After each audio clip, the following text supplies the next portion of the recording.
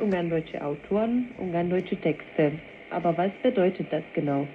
Wie könnte man ungarndeutsche Literatur definieren? Schriftsteller Josef Michaelis gibt auf diese Frage eine kurze, aber sehr konkrete Antwort.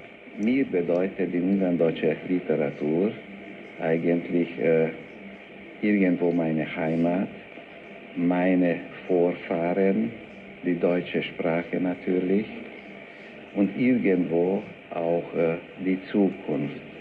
Ein längeres Gespräch in diesem Thema führte ich mit dem Autor Stefan Valentin. Ich bin Ungarndeutscher.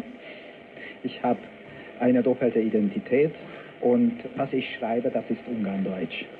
Das mh, kann ich so identifizieren. Ist es wegen der Sprache oder ist es auch vom Inhalt her Ungarndeutsch? Vom Inhalt weniger.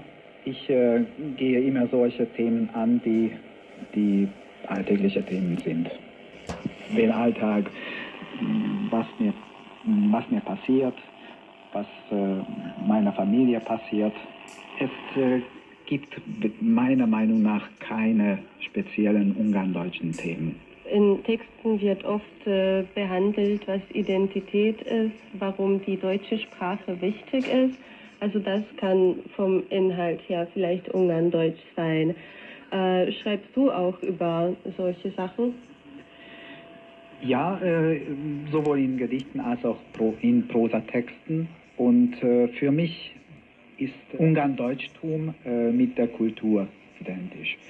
Mit äh, unseren Liedern, mit unserer Mundart, mit unserer, unseren äh, Traditionen, Festen, mit der Kirche, mit den Gebäuden der Heimat, mit der Donau.